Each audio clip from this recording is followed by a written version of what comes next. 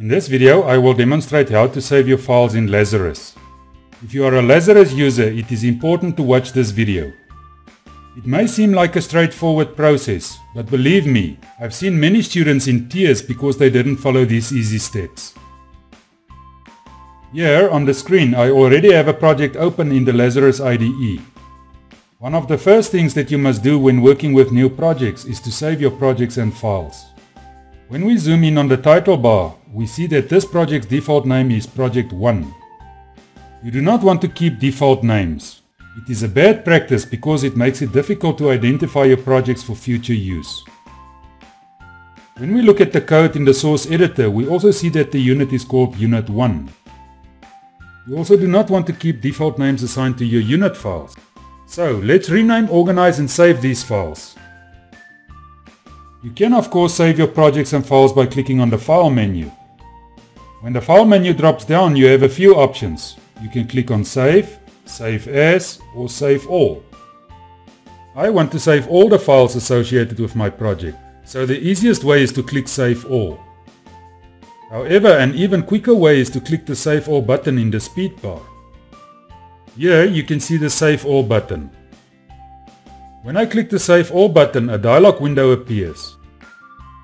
The title reads Save Project, Project 1 and the extension is LPI. In the file name box we also see the default name of our project file, namely project1.lpi. And here we see that the file that we are required to save has a .lpi extension. Unlike Delphi 7 that uses .dpr extensions for projects, Lazarus uses a .lpi extension, which is short for Lazarus Project Information. The dialog window is currently open in a location called Documents in OneDrive. So Lazarus assumed that this is the folder where I want to save my file. However, you don't want to save all your projects in the same location, because that may cause file conflicts or overwrite previously saved files. Later in this demonstration, you will also see that Lazarus projects have many other files, and if you save all your projects in the same location, it will be very confusing.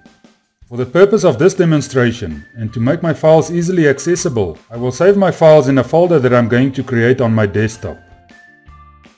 I'll click the desktop icon here on the left of the dialog window. Here you can see the new location is my computer's desktop. To organize all the files together in a nice package, I click this button to create a new folder.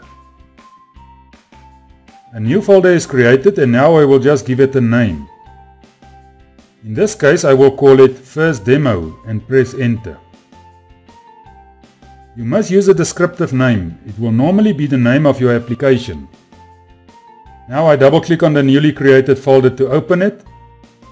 I will save my project file in this location. But before I do that, I must first give my file a proper name. I start by typing a descriptive name, in this case first project, followed by underscore p for the suffix to indicate to me in the future that this is a project file.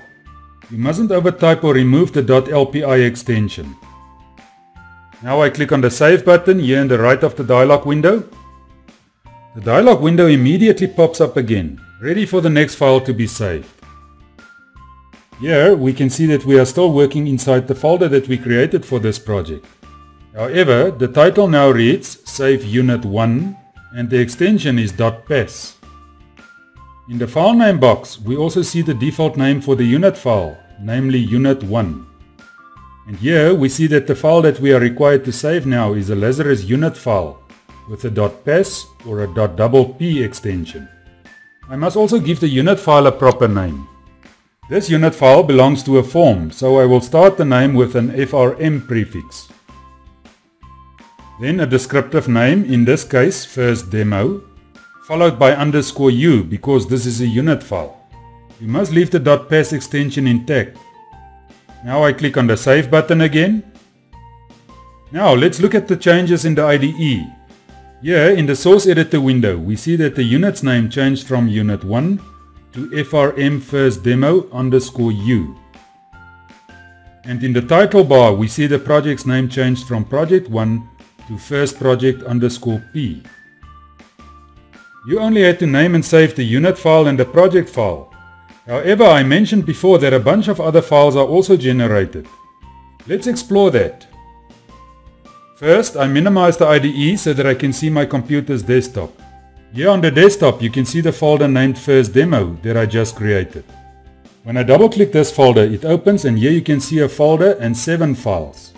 You only saved the project file and the unit file, but Lazarus also generated and saved 5 other files. Those files are used by Lazarus internally. It is not necessary for you to know them now.